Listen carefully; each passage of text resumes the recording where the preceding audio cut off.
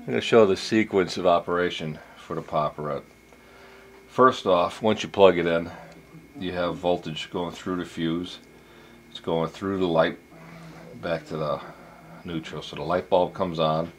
Then you have voltage going up to the coin reject coil. So that's energized. And then you have voltage to the tube heater, which heats the oil up. That's your first first thing that happens. Now this is a uh, normal position for the uh, relay and the motor. As you see, nothing's happening. You have voltage over here, but it's not going anywhere because you have a lot of open switches. So the first thing you do is, is you're going to put a coin in, and you're going to make the coin switch.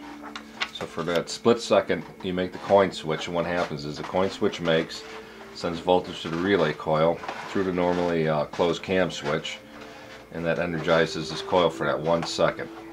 During that one second, what's going to happen is your normally open relay switch is going to close, and what that does is it, it feeds the relay and keeps keeps the coil energized. So the coin switch, as you see, is open, is out of the picture now. So now this switch is feeding its own relay coil. Also, it closes this normally open contact, which what that does is it starts the motor up. A couple seconds after that, what happens is is the cam switches switch position. So the normally closed switch opens up, which stops the power for the relay, so that whole relay circuit is dead now. And the uh, normally open switch closes, so now you're feeding through the motor, through the uh, closed umbrella switch, to the closed, uh, normally open cam switch which was closed, and your motor is running. And then after it runs for a while, what's going to happen is the umbrella switch is going to open during the popping cycle. When that opens, it kills the motor, and then the heater switch closes, and that uh, turns the heater on to heat up the oil, to heat up the popcorn.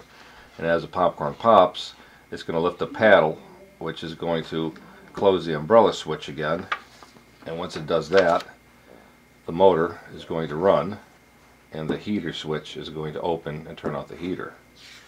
So as this is running, it's going to continue running until uh, the cam uh, closes this uh, cam switch and opens this cam switch back to your normal positions which is going to stop the motor and you're back to the way you were. So basically you're ready for another batch now. The last diagram I want to go over is the uh, high temp safety. Uh, what happens here is if the heater is energized and uh, there's not enough popcorn uh, in the chamber to uh, to close the umbrella switch to start the motor. Uh, what happens is uh, it's going to overheat and it's going to start smoking. And your whole house is going to be filled with smoke. So what happens is the thermostat will close its, its uh, switch here and that will allow power to go through the motor and start the motor up. Once the motor starts it's going to turn the cam which is going to turn the heater off so that was what they used for their uh, their high temp safety.